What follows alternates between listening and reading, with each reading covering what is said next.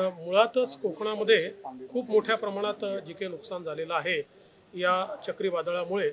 त्याची पाहणी करण्याकरता आम्ही चाललो विशेषतः आपल्याला माहिती आहे रायगड असेल किंवा रत्नागिरी असेल सिंधुदुर्ग असेल या सगळ्या भागात खूप मोठ्या प्रमाणात नुकसान झालं आहे मागच्या काळात निसर्ग चक्रीवादळाने नुकसान झालंच होतं.